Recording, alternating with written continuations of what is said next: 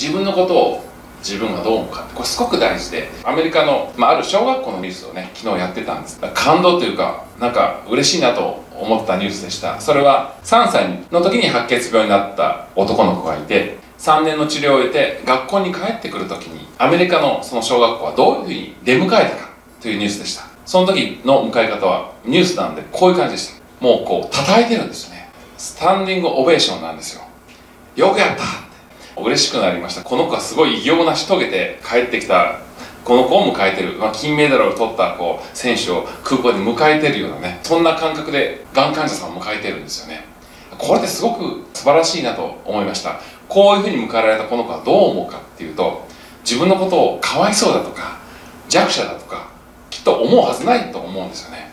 きっと自分は勇者だってこんなふうに迎えられて白血病を乗り越えてまた白血病かもしれないけど自分は自分のことどう思うかという中で取るに足らない存在ではない。そんなふうにこう思えたんじゃないかなって思うんですよね。がん教育という形で、え、小学校中学校で講演をさせてもらっています。ある中学校の話なんですけど最後に杉浦さん3年生だけを残してアドバイスをしてほしいって言われたんです。で何ですかって聞いたらその3年生の中で1人女子生徒ががんの治療をしてて入院してる。でもうすぐ帰ってくる。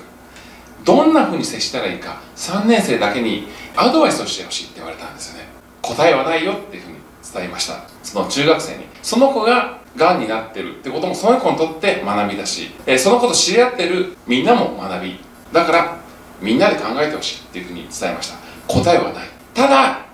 その子のことをかわいそうな存在とは思ってほしくないっていうふうに伝えました。病気であろうとなかろうと生きる価値命の価値が上も下もない。その子のことを、まあ、勇者とまで言わなくて勇者でもいいです。今からあることにチャレンジしていく、まあ、病気という山登りにチャレンジしていく。チャレンジャーとして応援してあげてほしいっていうふうに伝えました。その子のことを弱者かわいそうな存在ってそんなふうに思ってたら同じ大丈夫って言葉をかけても大丈夫っていうふうになると思うしその子のことを勇者と思ったら大丈夫。なると思うんです。もうその違いがあるのでどういう言葉どういう手段で接するかよりもどう思うかってことがすごく大事ですよってことをそのことにその子に伝えました。アメリカではがんサバイバーという言葉があってね称えるっていうねそういう習慣もあったりするので全部のアメリカがそうかどうかは分かりませんけどそういうムードになるといいんじゃないかなというふうに思います。でちょっとこれ私事なんですけどパスポートを取りました。今度今年ハワイのホノルマラソンに行きたいのでそういえば今年来てるんですよ。更新しておかなきゃいけないと思ってですね20年前更新してます。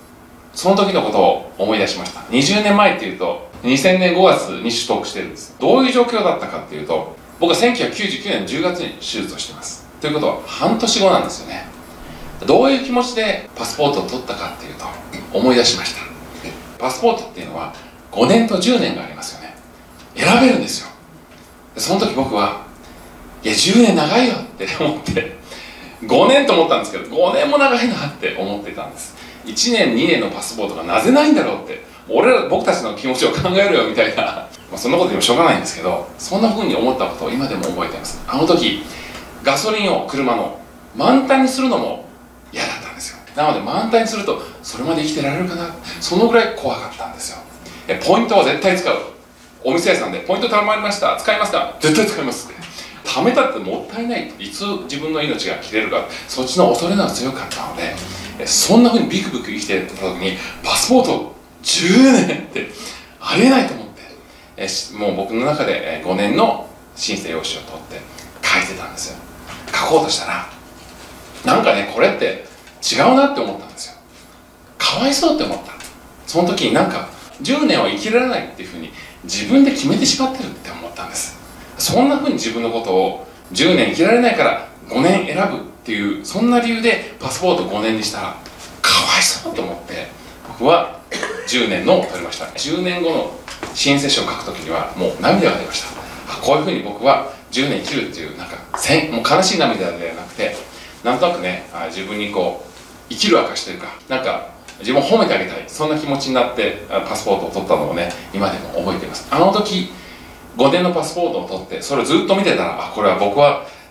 10年生きられないと思って取ったパスポートだなと思って眺めてたと思う。でもね10年取ったので旅行行くたびにあ俺は10年生きるって自分で宣言したんだそんな風に思うことができたのでまあ5年取った方もいらっしゃると思うんですけど別に否定をしないでもしよかったら次ね10年とかね5000差がありますけど安いと僕は思いますのでそんな風に一つね取っても僕はこれマインドセットって呼んでます。5年しか10年も生きられないかもしれないっていうマインドセットを持っていました。自分で決めてしまっていた。自分のことを自分がどう思うか命は短いというふうに思ってた。でもそれを自分で変えました。自分で限界を作ることはない。制限することはないと思って10年にしたんですよね。